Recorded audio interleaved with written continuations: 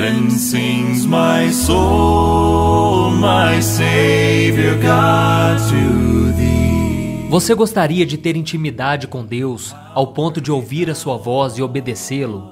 Jesus viveu dessa maneira e ele nos deu o exemplo de que é possível sim viver em profunda comunhão com o Senhor e fazer a sua vontade.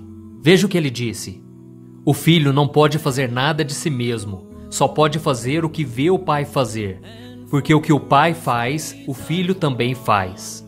Jesus quis dizer que ele recebia as ordens do pai e obedecia. E isso explica porque todos ficavam admirados com seus ensinamentos, milagres e com a sua forma de agir. A Bíblia conta que certo dia ele encontrou um homem cego de nascença e o curou para demonstrar o poder de Deus. Veja, ao passar, Jesus viu um cego de nascença. Seus discípulos lhe perguntaram: Mestre, quem pecou, este homem ou seus pais, para que ele nascesse cego? Disse Jesus: Nem ele nem seus pais pecaram, mas isto aconteceu para que a obra de Deus se manifestasse na vida dele. Perceba que os discípulos queriam encontrar uma razão para explicar o sofrimento daquele homem, mas Jesus não focou no problema, e sim na solução.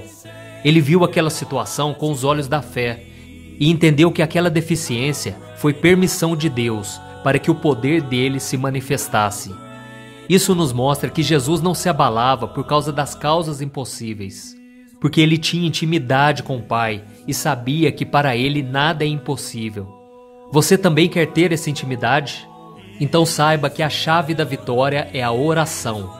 Jesus passava madrugadas orando. Quando seus discípulos iam dormir, ele ia para o monte orar. Quanto mais as pessoas vinham lhe pedir ajuda, mais ele se retirava para conversar com o Pai. Ele sabia que a sua comunhão com Deus era a chave para vencer os desafios da vida e não se desviar do seu propósito. E todos nós que recebemos Jesus como nosso Salvador Podemos ter essa intimidade, porque Deus não escolhe os capacitados, ele capacita os escolhidos. A Bíblia diz em Romanos capítulo 8 que Deus nos chamou para sermos parecidos com seu filho Jesus. E para isso precisamos imitá-lo no seu modo de agir e de viver. Assim como Cristo, precisamos buscar ao Pai em oração. Então separe um tempo do seu dia para orar. Conviva com pessoas que oram, e você verá que quanto mais você busca a Deus, mais capacitado você estará para fazer a vontade dele. Existe uma frase que diz: A oração é para todos, mas nem todos são para a oração. Isso porque existe um preço a ser pago e nem todos estão dispostos a orar. Mas se você está buscando uma resposta de como ser mais íntimo de Deus, a resposta é essa: oração.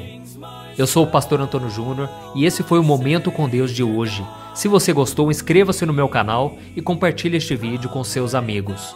Deus te abençoe.